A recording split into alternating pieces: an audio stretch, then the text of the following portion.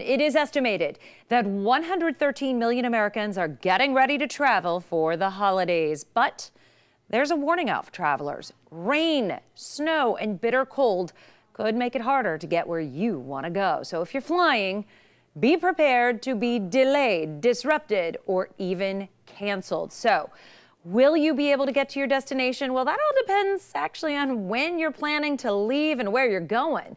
Airlines expected Thursday and Friday to be the busiest days to fly, but their message now is leave today if you can. United Airlines has already issued travel waivers for more than 140 cities because of this storm. American Southwest, Delta already offering vouchers as well. And this is to allow customers whose travel plans wind up getting affected by the storm to rebook their flights without change fees. And now for the approximately 102 million people that are planning to actually drive this year, well, the storm could create dangerous conditions on the road as well, especially if you're headed up north.